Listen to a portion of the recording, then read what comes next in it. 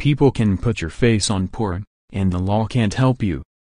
The grosser parts of the internet have a new trick, using machine learning and AI to swap celebrities' faces onto porn performers. The result? Fake celebrity porn seamless enough to be mistaken for the real thing. Early victims include Daisy Ridley, Gal Gadot, Scarlett Johansson, and Taylor Swift. Originally reported by Motherboard, this nasty trend has been brewing for months, acquiring its own subreddit. And now that someone has made an app, drastically lowering the technical threshold would-be creators have to clear, it's presumably about to become much more prevalent.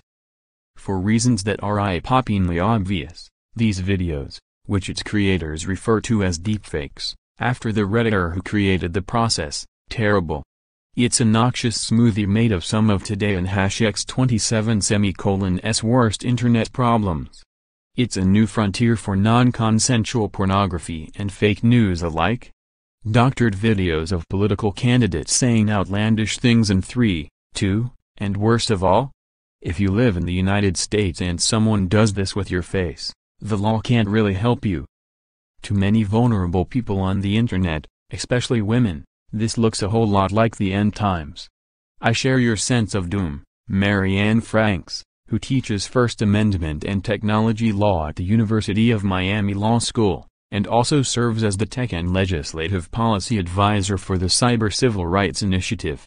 I think it is going to be that bad. She should know. Franks helped write much of the U.S.'s existing legislation that criminalizes non-consensual porn, and it and hash x27 semicolon s not going to help. It's not that Franks and lawmakers weren't thinking about the implications of manipulated images.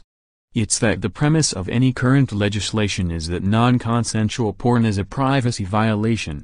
Face swap porn may be deeply, personally humiliating for the people whose likeness is used, but it and hash x27 semicolon s technically not a privacy issue. That and hash x27 semicolon s because, unlike a nude photo filched from the cloud, this kind of material is bogus. You can't sue someone for exposing the intimate details of your life when it's not your life they're exposing. And it and hash x27 semicolon s the very artifice involved in these videos that provides enormous legal cover for their creators. It falls through the cracks because it's all very betwixt and between, says Danielle Citron, a law professor at the University of Maryland and the author of Hate Crimes in Cyberspace.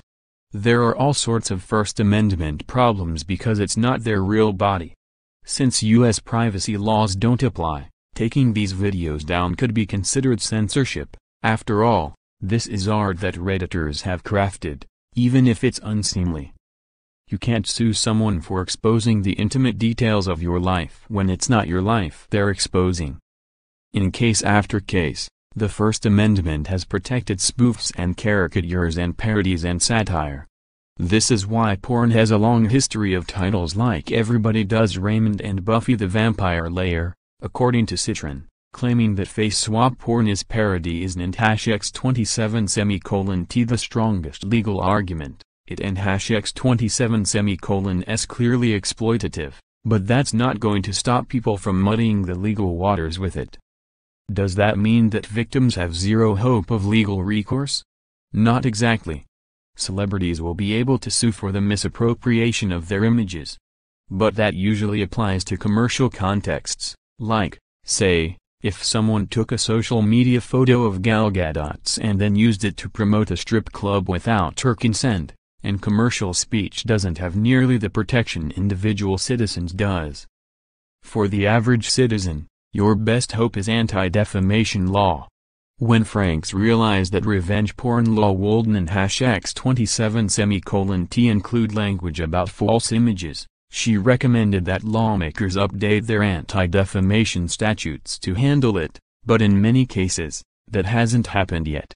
And Franks thinks claimants will have difficulty proving that the creators intended to cause them emotional distress. So far, these videos do seem to have been created for the pleasure of the creator rather than the humiliation of the object of their desire. Inevitably, someone will point out how many young men had posters of Princess Leia in their bedrooms as a masturbation fantasy, Franks says. Is the harm just that you found out about?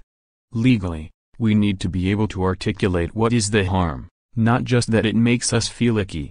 And in such a fringe case as AI enabled porn, that hasn't happened yet. For a longer-term solution, the most viable way to stem the tide of face swap porn may be to take away the distributive technology, that app. The Federal Trade Commission Act prohibits unfair or deceptive acts or practices in or affecting commerce, a distinction that could become the point of attack. If we can think about it creatively, the app creator could be liable, Citron says. The app is using someone's data and morphing it onto someone else's.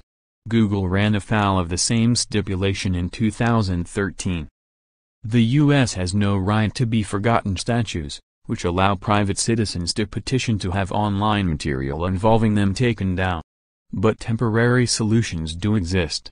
Google has said it will delink non-consensual porn from searches for the victim's name. Similarly, online platforms will have the ability to step up and swat them them down, or at least mark them as faked. AI to detect those kinds of edited videos exists and is pretty good. Separately, detecting porn is pretty straightforward, says Jen Golbeck, a computer scientist at the University of Maryland.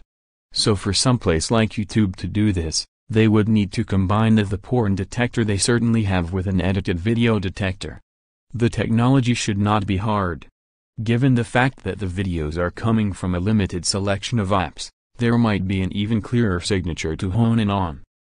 Verifying the authenticity of videos, or the lack thereof, will only become more important as this technology proliferates. So will confronting what constitutes defamation, emotional harm, and consent in digital contexts. But while all of that is critical, it will require enormous struggle to make sure it's actually contemplated.